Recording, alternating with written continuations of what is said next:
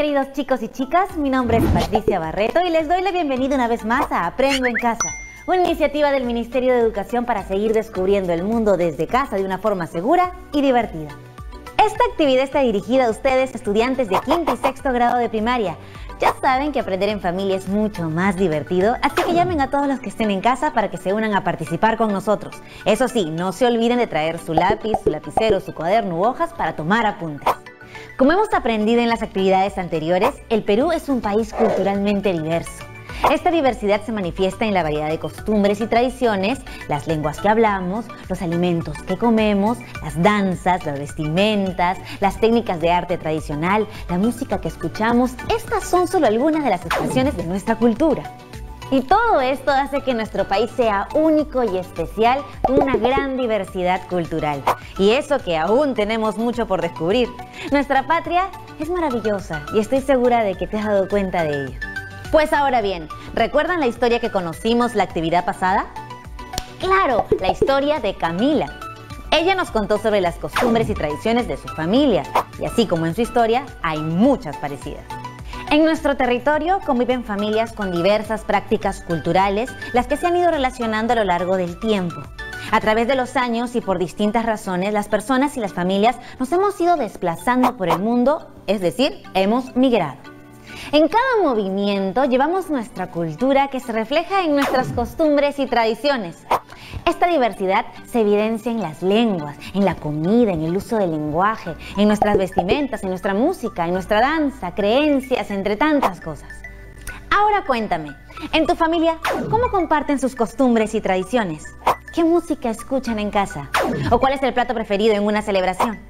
La diversidad cultural se manifiesta también en las expresiones artísticas, como por ejemplo las canciones que se transmiten de generación en generación y son parte de la memoria de las personas y de su comunidad. Por eso, en esta actividad seguiremos investigando sobre las costumbres y tradiciones de nuestras familias a través de sus manifestaciones artístico-culturales. Iremos registrando nuestra investigación para organizarlo en nuestro álbum familiar. Como vimos en la actividad pasada, la entrevista es una herramienta que nos ayudará a obtener información que necesitamos de nuestra familia. Chicas y chicos, recuerden que en el programa anterior les pedimos seleccionar a las personas que van a entrevistar, que definan cómo lo harán, que completen las preguntas para su entrevista y que coordinen en qué momentos la realizarán. ¿Lograron realizar esas actividades? Yo estoy segura que sí. El día de hoy vamos a incluir algunas preguntas a nuestro esquema para realizar nuestra entrevista a nuestros familiares. Y para ayudarnos a superar este reto nos acompaña nuestro querido profesor Gustavo. Hola profesor. Hola Patricia. Buenos días chicas y chicos que nos ven desde casa. Soy el profesor Gustavo Romero Velarde y estoy muy contento por acompañarlos en esta aventura donde descubriremos la importancia de conocer nuestras tradiciones, costumbres y orígenes. ¿Están listas y listos? Empecemos. Como mencionó Patricia, nuestro país es uno de los más diversos culturalmente. Eso quiere decir que hay muchos modos de vivir, costumbres y conocimientos que se organizan según el entorno y su historia. En el recorrido de nuestra historia se dieron procesos migratorios por múltiples motivos, desde afuera y dentro del territorio peruano. Esto hizo posible que culturas de diversas partes se relacionen enriqueciéndose unas con otras. Pero estos procesos no han sido reconocidos como valiosos durante un tiempo. A lo largo de la historia de nuestro país, estas distintas formas de pensar, modos de vivir y expresarse no se han dado en igualdad y respeto. Es cierto, profesor. Y eso ha provocado que a veces sintamos que tenemos que cambiar nuestras costumbres o tradiciones, restándole el valor que tienen. ¿Cómo podemos cambiar eso? Lo más importante es la intención de querer cambiar esa actitud. Debemos entender que todas y todos provenimos de contextos culturales diferentes y diversos. De acuerdo con nuestro entorno, compartimos ideas, experiencias, costumbres y tradiciones que nos permiten construir nuestra identidad. Sin embargo, no es un proceso estático, La cultura está viva. Significa que va cambiando y desarrollándose en el tiempo. En nuestro caso, la cultura peruana congrega la relación e intercambio de muchas culturas. Por eso, para entender esa diversidad, hemos comenzado por conocer nuestra propia familia. De esa manera podemos identificar nuestras tradiciones y costumbres, de dónde vienen, por qué se crearon y cómo han ido cambiando. Después de ese autoconocimiento, podremos conocer, entender y respetar a los demás. Eso tiene mucho sentido, profesor. Si conozco y comprendo mi propia realidad, podré acercarme y entender a las otras. Pero, ¿y cómo hacemos eso a través del arte? Excelente pregunta.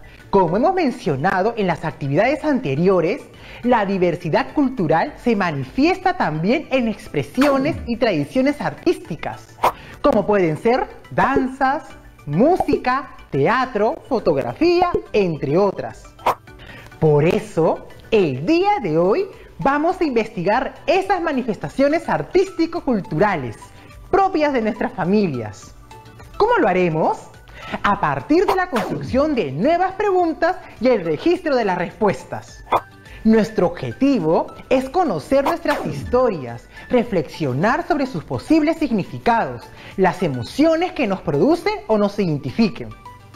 Pero como nuestras historias son tantas, retomaremos la de Camila. ¿La recuerdan? ¿Alguno de ustedes nos quisiera contar? Sí, profesor. Justo nos ha llegado un mensaje de voz de alguien que nos quiere contar algo. Hola a todos, soy Ignacio.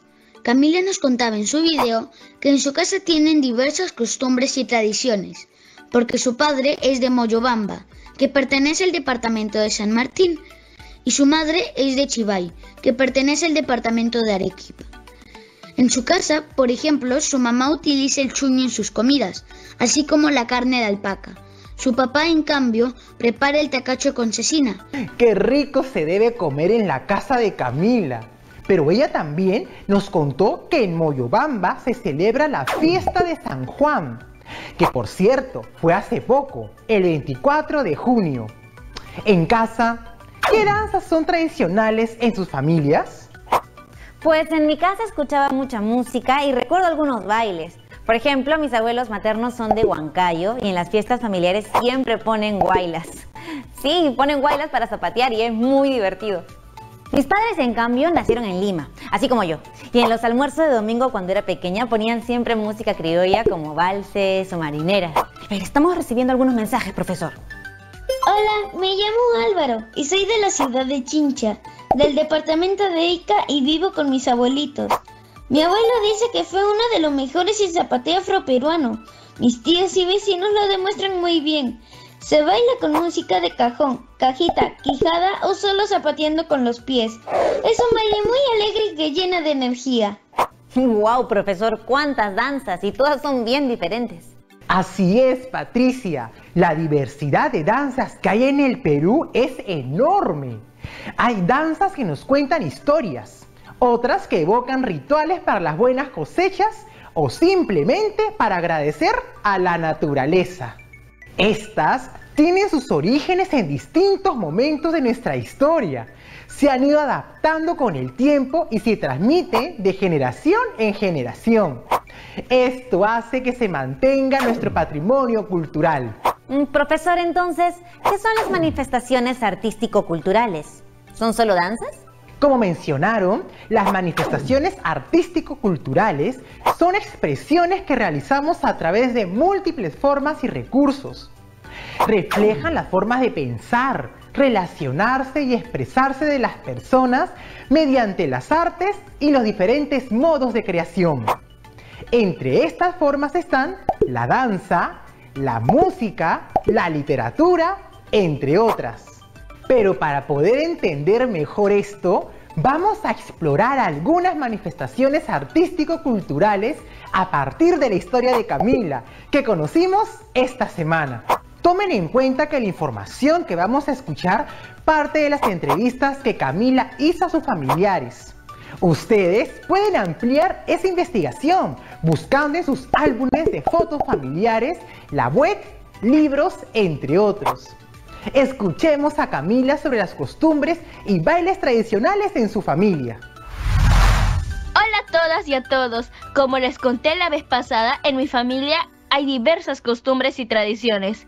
Esta vez quise averiguar un poco más sobre los bailes tradicionales en mi familia. En casa, por tradición de mi papá, en la fiesta de San Juan, escuchamos la pandilla mientras se preparaba el delicioso Juane. Pero quería saber más sobre esa danza, porque mi papá solo nos la hace escuchar y nunca he visto cómo la bailan en Moyobamba. Por eso les he traído este video para que averigüemos cómo se baila en conjunto.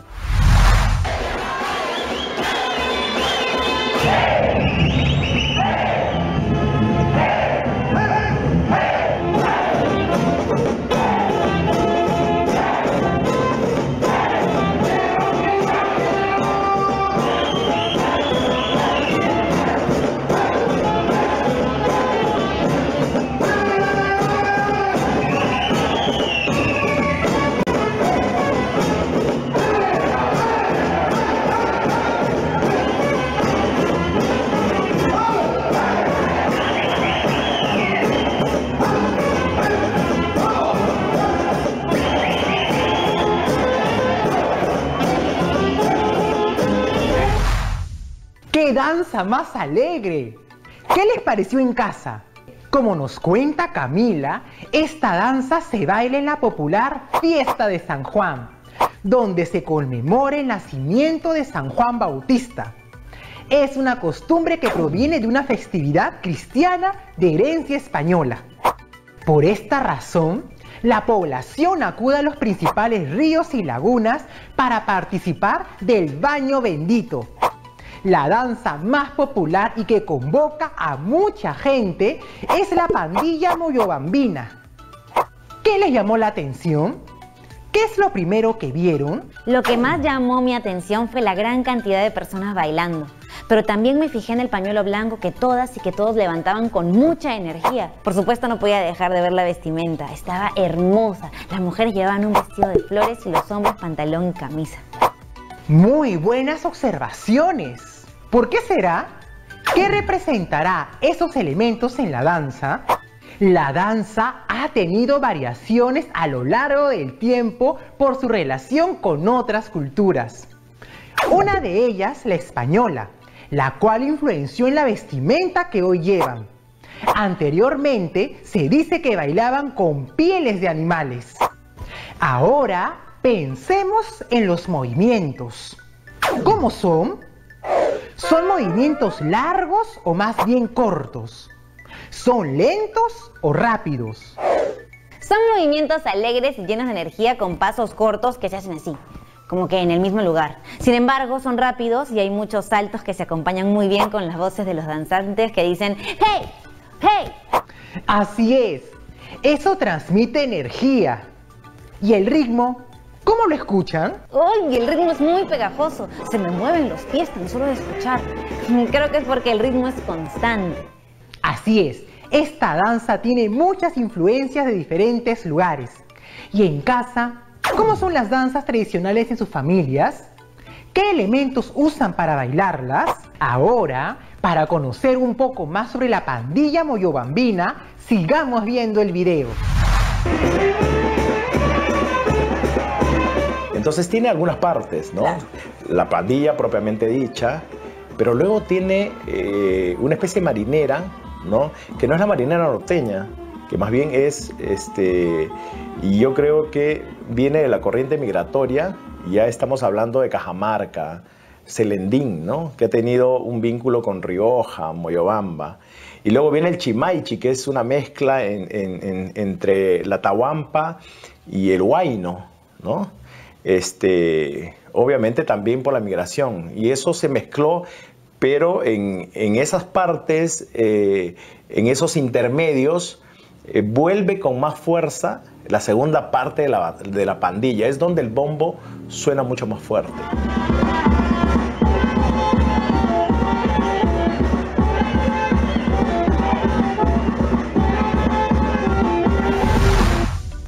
¡Wow, profesor!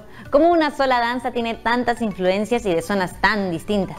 Así es, Patricia. Esta danza es solo un ejemplo de lo que mencionábamos, de lo rico que somos en diversidad cultural, que se da a través de las relaciones e intercambios entre las culturas que van migrando.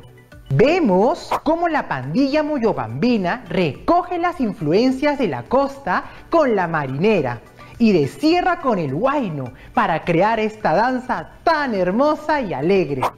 Aunque no soy de ahí, me siento muy orgullosa al verlo.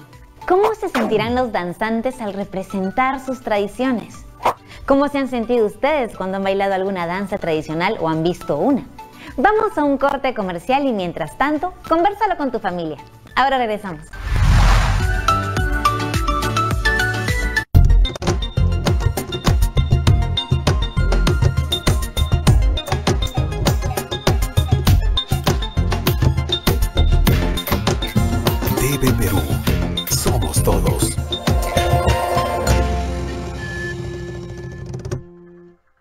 nama kaitan wit hai selular num cicas citu san nyai mang duka.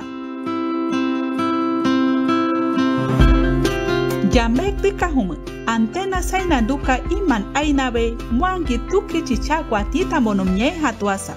Nuwintus jambek antenas jamaham pungking aina nuhek cicamen ang tan me kumpahum ainohe, hintin kantin ainohe, nuwintus patemihes putuhem kasichastan.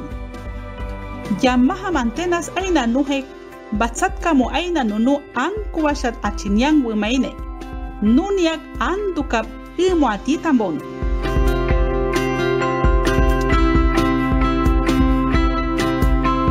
Gobierno del Perú. El Perú primero. A continuación, hablemos del COVID-19.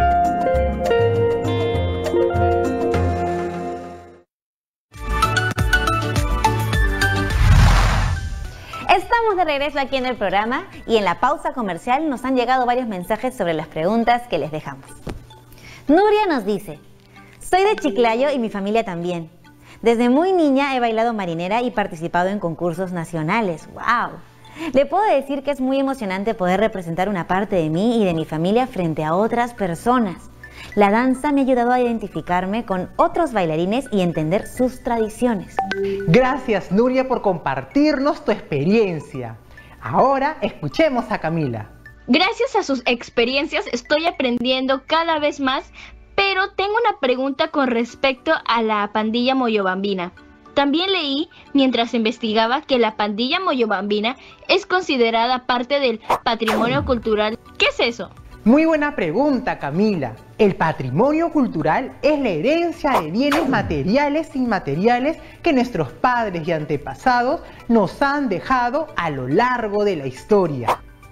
El patrimonio cultural no solo se refiere a monumentos o una colección de objetos, sino también a las tradiciones o expresiones vivas heredadas de nuestros antepasados y que son transmitidas de generación en generación, como es el caso de la pandilla moyobambina. La importancia del patrimonio cultural es que nos ayuda a forjar una identidad como nación. Asimismo, estimula la creación de nuevas expresiones artísticas. En tu caso, Camila, ahora que sabes más sobre la pandilla moyobambina, estoy seguro que vas a buscar información para difundirla y practicarla.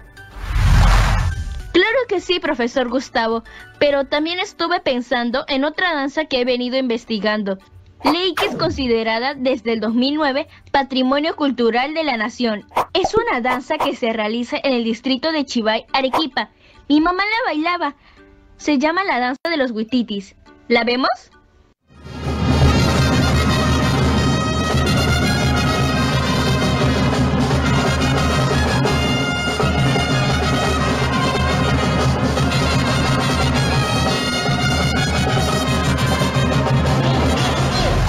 ¡Wow! ¡Qué colorida es esa danza!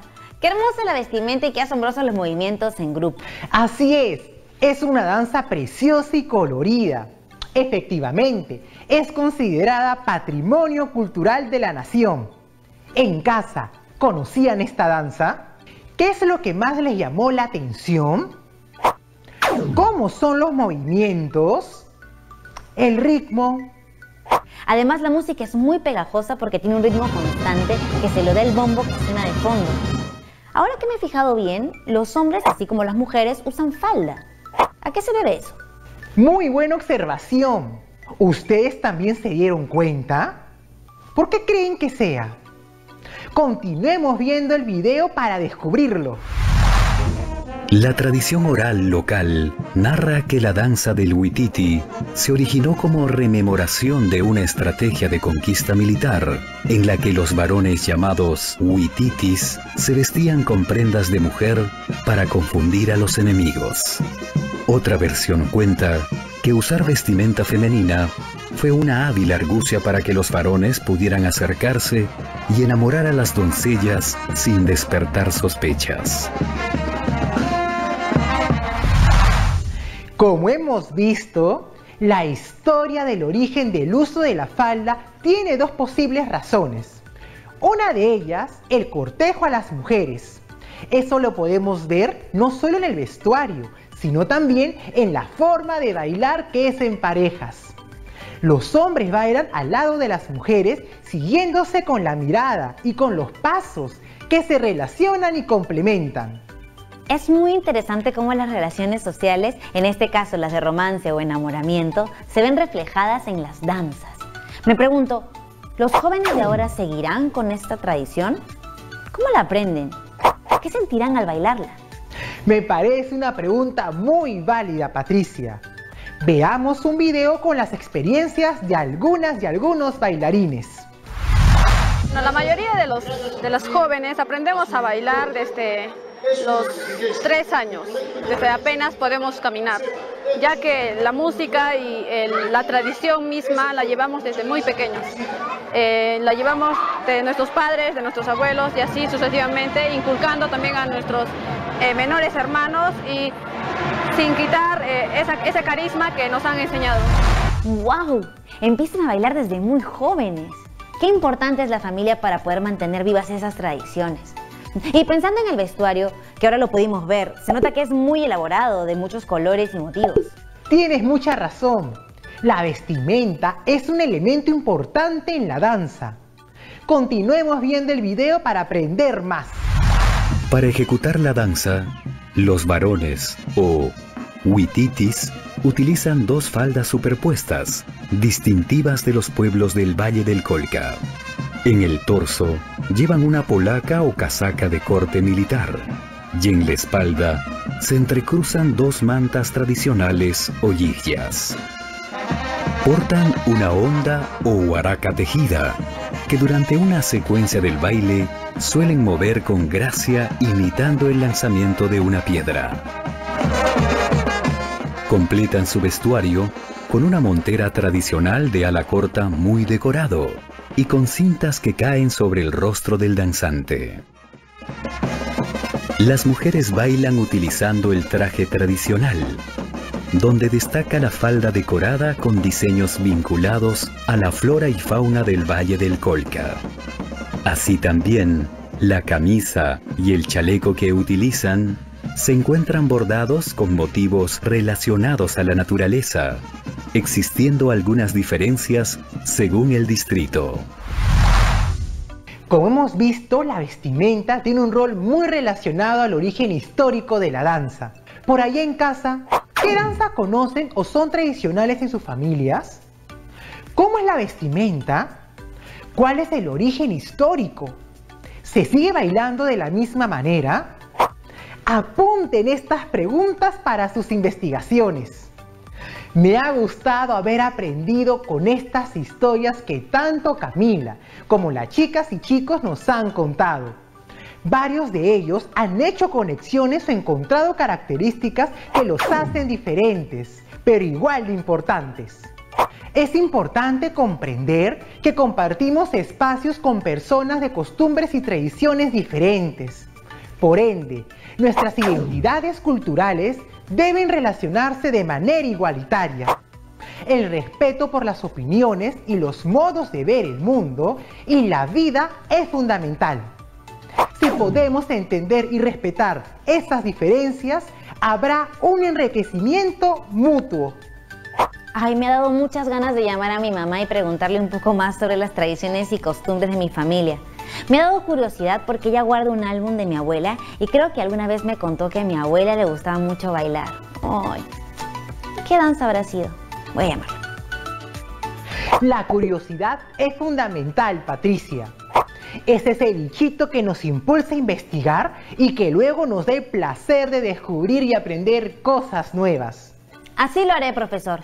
Por otro lado, me he dado cuenta que mi historia familiar es muy diferente a otras, pero a la vez son similares y se pueden conectar.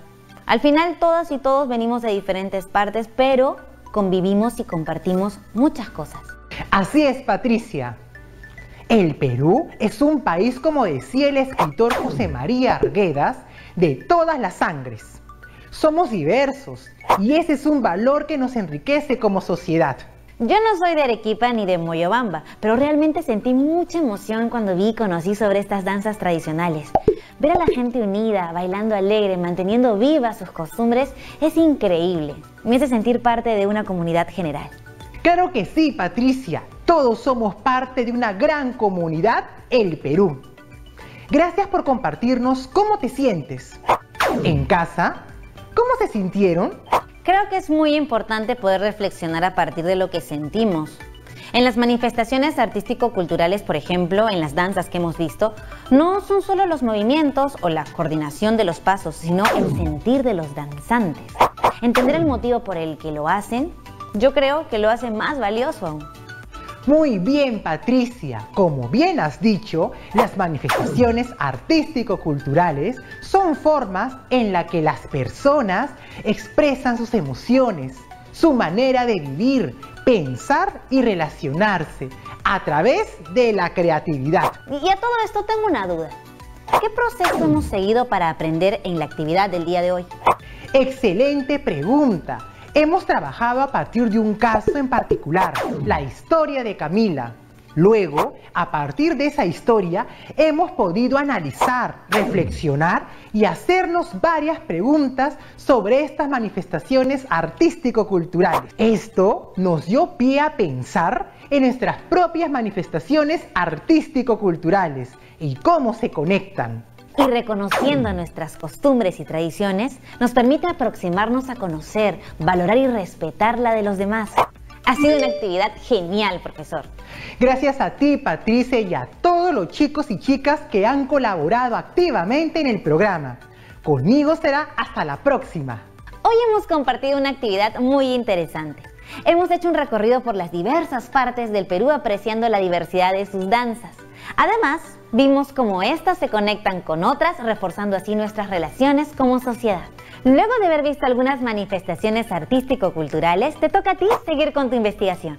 No dejes de preguntarle a tu familia si ha participado de bailes, danzas o alguna otra manifestación artístico-cultural.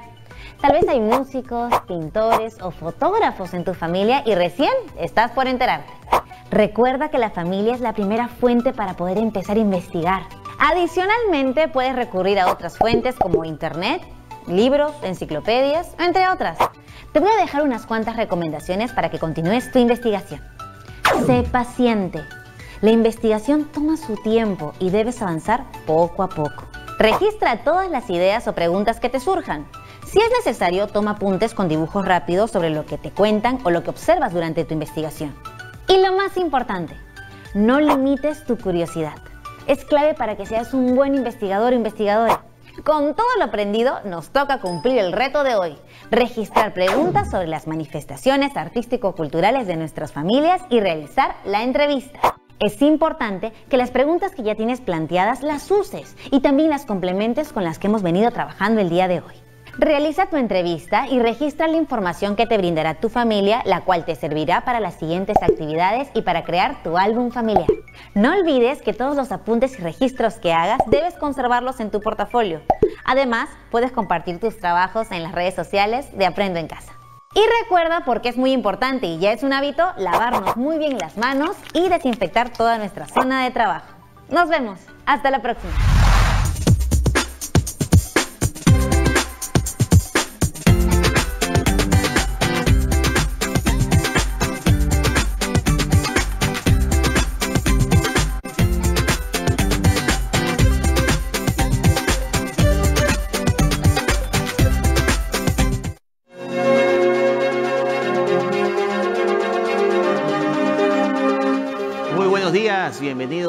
A una nueva edición de Hablemos del COVID-19. ¿Cómo te va, Paola Pejovés? Muy bien, estamos pues eh, sobre todo pues viendo cómo se va adaptando la población a esta nueva normalidad en las cuales eh, está, yo creo que la gente saliendo, muchos de ellos que han estado tres meses en sus casas, pero eh, lo, mejor es tomando las precauciones. He visto mucha gente con mascarilla, pero también con los protectores. Los protectores faciales. Porque tienen que ir quizás en un transporte público, ¿no? Hoy destaco y me llamó la atención positivamente una declaración del ministro del Interior, Gastón Rodríguez, que dijo muy temprano en una actividad en uno de los paraderos del, me parece que del metropolitano, eh, señaló de que eh, el virus no caduca con un decreto supremo.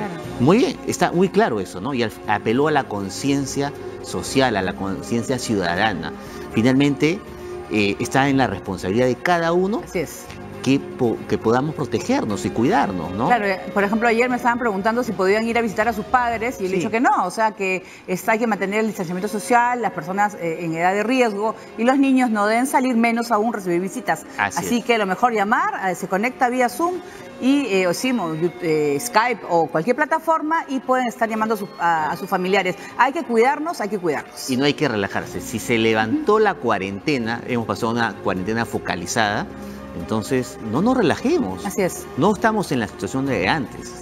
Sigamos teniendo los mismos cuidados. Y además, solamente, solamente antes de ir a nuestro primer invitado, en los cuales eh, cuando quieran eh, medirles la temperatura en los supermercados y tiendas, hay gente que se está rehusando y piden que se lo midan en la muñeca. Eso no es así. No se trata de un eh, termómetro láser, es infrarrojo y no hace daño ni a los ojos ni le va a afectar. Así que, sobre todo, colaboren pues con los miembros pues de la seguridad de los supermercados y de bancos para que pueda medir la temperatura que es que te va. Es un punto en el cual puedes saber si tienes o no. No generemos desinformación con la medición de la temperatura con estos aparatos. Eso es. importantísimo, tenerla clara. ¿no? Vamos a hablar, estamos hablando pues del tema del de, eh, mundo emocional del COVID. ¿Cómo ha podido afectarnos o eh, qué está sucediendo pues en la cabecita de todos los peruanos después de más de 100 días de encierro? Hay gente que realmente todavía continúa... Eh,